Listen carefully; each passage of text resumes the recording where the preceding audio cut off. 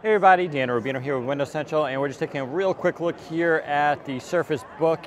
You can see it in my hands. Uh, definitely an interesting device. Uh, they are basically reinventing the category. So you can see here the hinge itself is very strange how it comes around here. Uh, it leaves that little gap in between. Of course you can see the ventilation here for the tablet itself.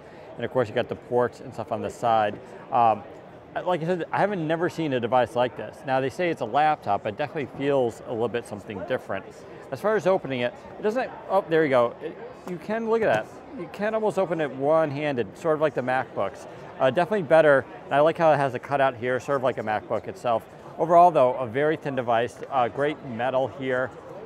You can see the uh, great trackpad, glass, got a full keyboard here. This is the new keyboard style that they have.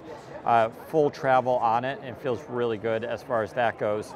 Uh, also backlit keyboard, you got that great 6 million, pix 6 million uh, pixel display on there.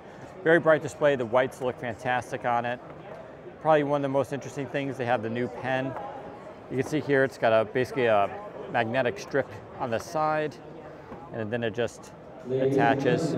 So overall, very interesting device. We're being told to leave, so we got to head out here, but there you go. Head to Windows Central for more information. Take care, everybody.